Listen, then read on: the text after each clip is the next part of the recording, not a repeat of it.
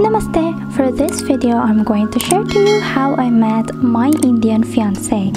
So it was back in April of 2018. I just finished my bachelor's degree in civil engineering and I was just waiting for the time when I will be going to Cebu for my board examination review.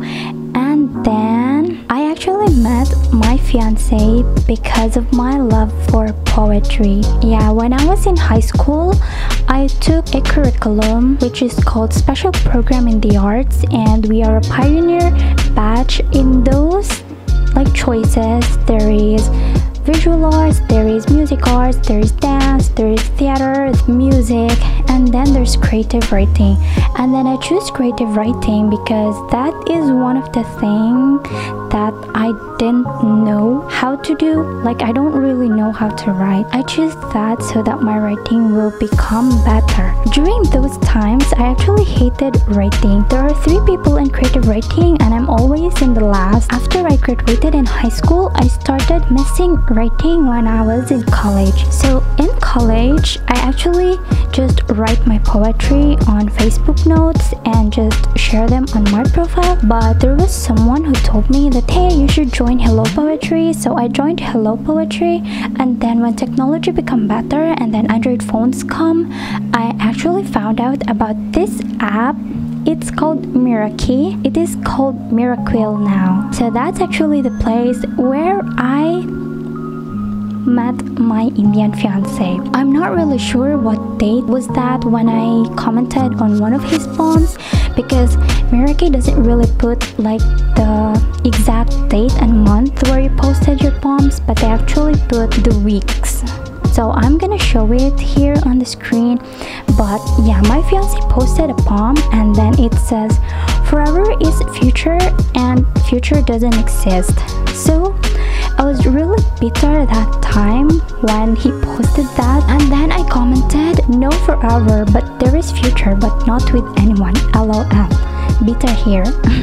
And then my fiance commented thank you for understanding. And then I said I know the pain. And then he said welcome to the boat. So that's the first interaction that I actually did with my fiance. On Mirakee. We actually put our Instagram link there on our bio because Mirakee doesn't have a chat box so we have no place to chat people in case we want to chat them. I put my Instagram link there and then I also put there that hey I just graduated civil engineering those kind of stuff because I was just so happy that I finally finished my civil engineering so I put it there on my bio. Yeah I'm not really sure what date my fiance? Like message me. Is it on the same day or is it on the next few days or something? But I just don't remember it. When he chatted me I was actually online that time. So yeah he messaged me like hey why did you take civil engineering when it's so hard and it's such a pain?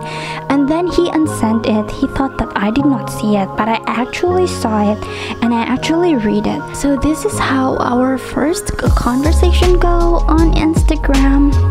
He said your choice of backgrounds is very good. And then he said okay okay emoji and I also replied okay emoji so yeah my backgrounds I got them from Pinterest he said that what do you plan to do now and I said what do you mean and he said after civil engineering, what do you plan to do? And then I said, oh, I still have to take the board examination to get license. I will go to some place here in my country to have civil engineering board exam review for six months. And I said, aha. And then I said, yeah. And then he said, and after that job and i said yeah want to have experience too. And maybe i want to save because i want to take creative writing course to enhance my writing. I still want it till now. And then he said there is course for that too? And then he put all those emoji and then he said this is new. And i said yeah bachelor of arts in creative writing and then I said, There is one I heard from a popular school here, a school called Silliman University in my country, Philippines. And I said, They said there is a course creative writing. I would love to take it, like might make my writing upgrade in some point too. I really love writing. And I said, I didn't know there is a creative writing course too. Interesting. And how stupid I am. And I said, Yeah, I took creative writing major thing for four years when I was in high school.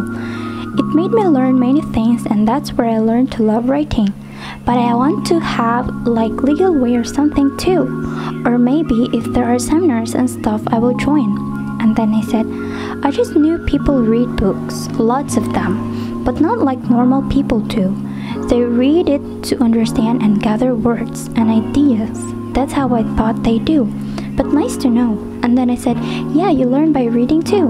And he said, Nah, I read lots of stuff when I was a kid. Not anymore. And then I said, I would love to learn from experts and tell me their secret and techniques low so I can learn them too. And I said, I love reading manga but only One Piece long. yeah, I actually love One Piece anime. And then I said, and I read Wattpad too. When I get the job and have money, I will really buy the books I love, which I really still want to do now. And I said, nice, nice, you love all this. Great to see your enthusiasm. I replied some emoji and then I said, for now I have to focus on my board review, but I will still write in Meraki since I love it there. Yeah. And he said, actually, if you give it 10,000 hours learning, and then he said, I don't think you will need experts, but just but that's just personal opinion. He said, I heard Ed Sheeran say it on YouTube.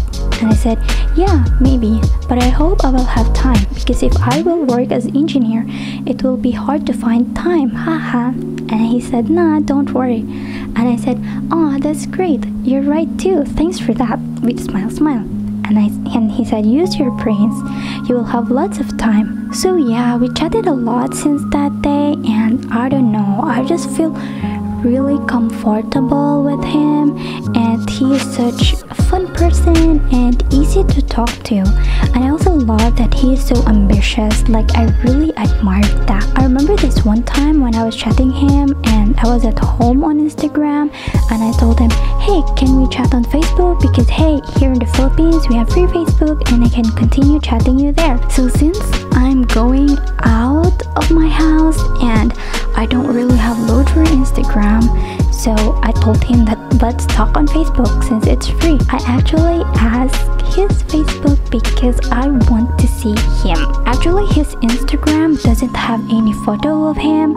He just posts like his guitar since he play it and then his profile picture also is him on a window holding a guitar like he's playing but you cannot see his picture so I don't know how he looks like.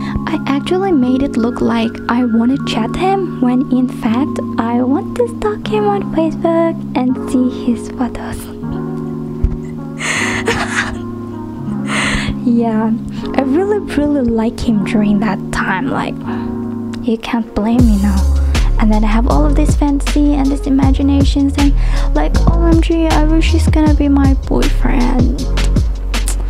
So yeah I just love his personality. So yeah we talked a lot on Facebook since then. And then on April 25th of 2018 he became my boyfriend.